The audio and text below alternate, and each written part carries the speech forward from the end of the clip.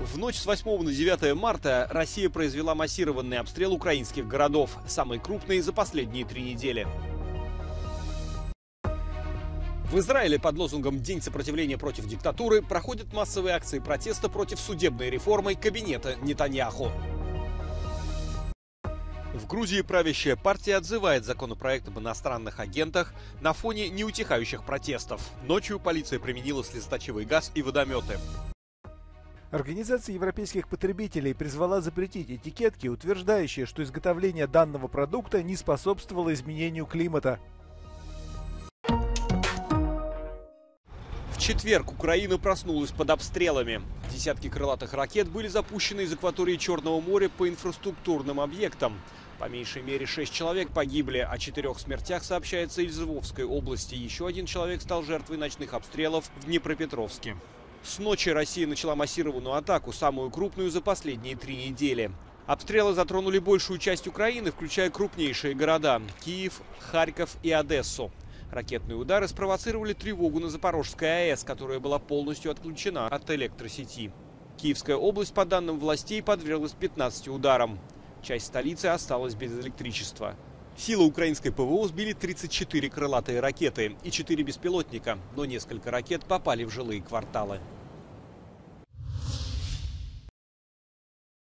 Дым поднимается над Бахмутом. ЧВК «Вагнер» накануне заявила, что теперь полностью контролирует восточную часть города. К такому же выводу пришли в Институте изучения войны на основе визуальных доказательств.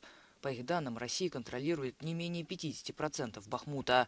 Украина эту информацию не комментирует и продолжает обороняться.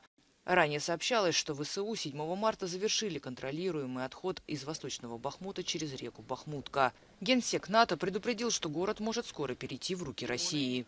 We can uh, rule out that uh, uh, Bakhmut may eventually fall um, in the coming days. Therefore, uh, it is also important to highlight that uh, this does uh, uh, uh, not necessarily reflect any uh. Накануне командующий сухопутными войсками Украины Александр Сырский вручил медали военным, стоящим на защите Бахмута. Президент Украины заявил, что если город падет, для российских войск откроется дорога к другим крупным населенным пунктам. Тем не менее, Зеленский отметил, что оборона города не мешает ВСУ готовить контрнаступление. В свою очередь, Евросоюз рассматривает возможность выделения 1 миллиарда евро на совместные закупки боеприпасов для Украины и пополнение собственных запасов.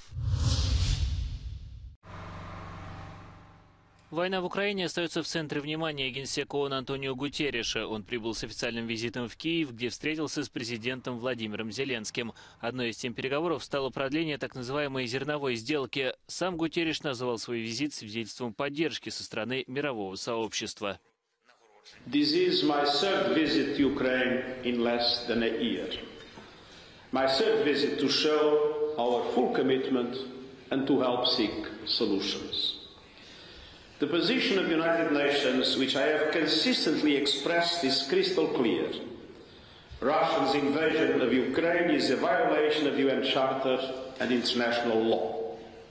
The sovereignty, independence, unity and territorial integrity of Ukraine must be upheld within its internationally recognized border.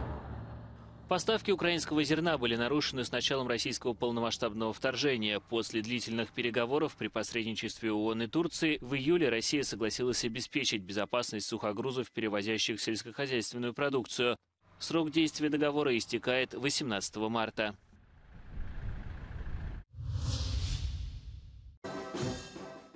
Петр Павел вступил в должность президента Чехии. Инаугурация проходила в Пражском граде. На церемонии присутствовали депутаты парламента, сенаторы, члены правительства, а также бывшие главы республики, дипломаты и представители зарубежных делегаций.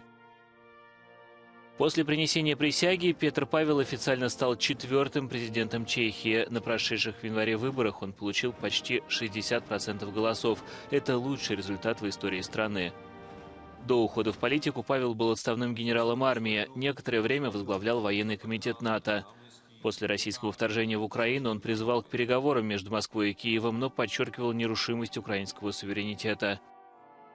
Предшественник Петра Павла Милош Земан был президентом с 2013 -го. В последние годы его рейтинг достиг особенно низкого уровня. Оппоненты Земана обвиняли его, в частности, в излишней близости с Владимиром Путиным и в пророссийской позиции. Правящая партия «Грузинская мечта. Демократическая Грузия» приняла решение отозвать законопроект об иностранных агентах на фоне неутихающих протестов. Всю ночь со среды на четверг продолжались столкновения между полицией и протестующими в столице Грузии Тбилиси. Власти применили слезоточивый газ и водометы, чтобы попытаться разогнать толпу, митингующую против проекта закона, который, по мнению критиков, ущемляет свободу прессы. Негодование толпы направлено на парламент страны после того, как грузинские законодатели одобрили в первом чтении закон, который требует, чтобы медиаорганизации, получающие более 20% финансирования из иностранных источников, регистрировались как агенты иностранного влияния. Этот закон похож на тот, что был принят в России в 2012 году и с тех пор используется для предотвращения любых попыток критики власти. Противники закона утверждают, что его принятие означало бы переход к авторитаризму и сведет на нет шансы Грузии на вступление в ЕС. Всю ночь протестующие отказывались расходиться по домам, возводили баррикады, бросали петарды и фаеры. Сообщается о десятках арестованных и о многочисленных раненых среди протестующих и полиции. Президент Грузии Саламе Зарубишвили заявила, что в случае принятия наложит вето на законопроект.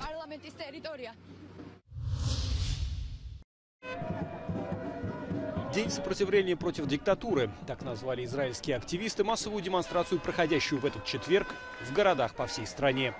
Протестующие выступают против судебной реформы, которую инициировал кабинет Бениамина Нетаньяху. В Тель-Авиве демонстранты заблокировали основную дорогу, ведущую к зоне вылета международного аэропорта имени Бен-Гуриона. We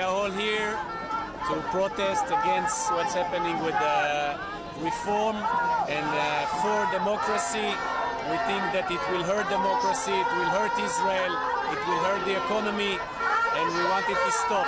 Israel is on the verge of becoming an autocratic uh, country. Uh, the government, the current government is trying to destroy our democracy and actually destroy the country. За два последних месяца протестное движение охватило широкие слои общества, включая армию. В прошлую субботу более четверти миллиона человек протестовали по всему Израилю под лозунгами «демократия» и «нет диктатуре». Согласно недавнему опросу, две трети израильтян выступают против судебной реформы.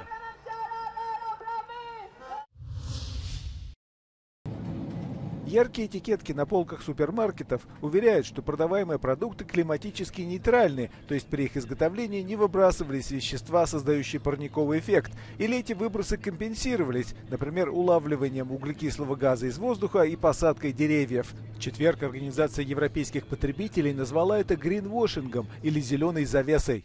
For us, this is absolutely greenwashing. Having 100% CO2 neutral uh, on a product is uh, scientifically inaccurate and misleading to consumers.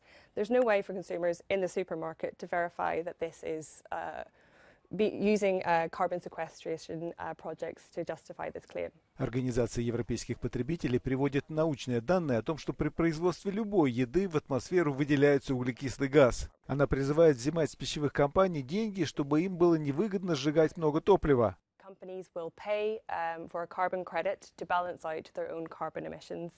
The problem with this is that these, uh, it's kind of a, a, burn now, pay later approach. So they are emitting uh, carbon right now, and then the pledges are for uh, tree planting projects mostly um, in the future. На введение таких видов компенсаций за экологический ущерб уйдут годы, при том, что замедление климатических изменений не гарантируется. Пожары или экстремальные погодные явления могут привести к исчезновению лесопосадок, которые призваны поглощать углекислый газ и выделять кислород. Но пока организация потребителей требует запретить ярлыки, утверждающие, что их товар полезен для планеты.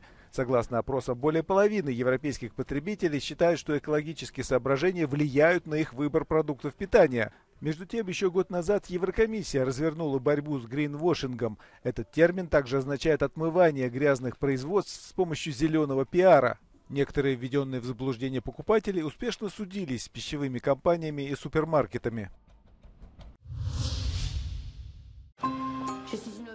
Франсуа Озон, один из самых известных европейских режиссеров, возвращается со своим 22-м полнометражным фильмом «Мое преступление». После «Восьми женщин» и «Отчаянной домохозяйки» француз завершает трилогию легких, но глубоких комедий. И здесь снова тот же рецепт. Хорошо продуманный сценарий, реплики, попадающие точно в цель, сдержанная и эффективная режиссура, пятизвездочный актерский состав, представляющий все поколения и жанры французского кино. C'est important que ça se passe dans les années 30 parce que ce dont je parle, si je l'avais traité aujourd'hui, je pense que ça aurait été un film beaucoup plus dramatique. Alors forcément, mon histoire résonne avec aujourd'hui, avec tout ce qui se passe dans le mouvement féministe actuel, dans la libération de la parole par rapport aux violences faites aux femmes. Mais c'est intéressant, je trouve, de regarder ça avec les yeux d'aujourd'hui et de voir que dans les années 30, c'était aussi très compliqué et que les femmes, euh, elles trouvaient peut-être des moyens un peu transgressifs pour s'en sortir et réussir. Мадлен Вердье, нищая актриса, обвиняется в убийстве известного продюсера. При помощи своей лучшей подруги она доказывает, что действовала в пределах необходимой самообороны. Главные героини фильма, сыгранные двумя открытиями французского кино, Ребеккой Мардер и Надей Терешкевич, объединяют усилия и помогают друг другу освободиться от мужского господства. J'ai la chance de pouvoir sortir dans les pays européens. Euh, Celui-là, il est déjà vendu quasiment partout, donc c'est une chance. Euh, D'autant plus que ce film est un peu dans la trilogie de, de Huit femmes et Potiche. Voilà, c'est un peu le dernier volet. Donc, euh, comme c'était deux films qui avaient très bien marché en Europe, et surtout en Europe, euh, le cinéma français est doublé. Euh, en Allemagne, en Italie, en Espagne, et du coup, ça permet de toucher un public plus large.